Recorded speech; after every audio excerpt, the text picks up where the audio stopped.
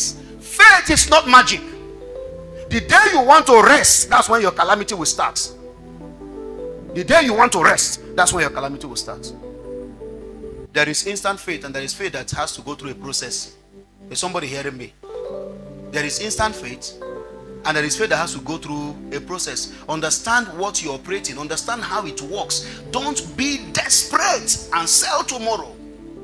No matter how beautiful today is, tomorrow is better. And any wise man, listen, any wise man lives for tomorrow. If you are living for today, you are dead already because there's no place for you tomorrow.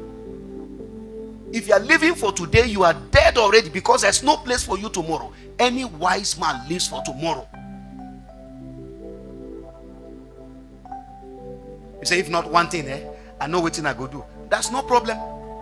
You won't be the first, you won't be the last, but we'll know where everybody ends at the end of the day. See, have you done multi-level marketing? Do you know what they call multi-level marketing? Like all this um tell me now. Eh? GNLD, those kind of things. Multi-level marketing means if you come in, you bring two people, they will be under you.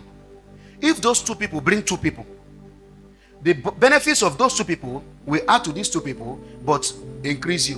What many people don't understand in going to spiritual houses and going to evil altars is that it's a satanic multi-level marketing strategy. They will they will lay hands on you and say headache go. Why they are removing headache? They are in covenant with the devil to bring cancer later on. So the headache lives now. Six months after cancer comes, but you will not be able to trace it to that hand they laid on you because your mind will never tell you. So what do they do? They mortgage you.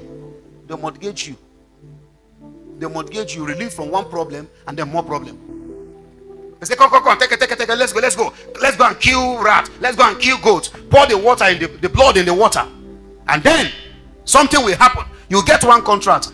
After one year, two years, you will now suffer poverty that nothing will save you from.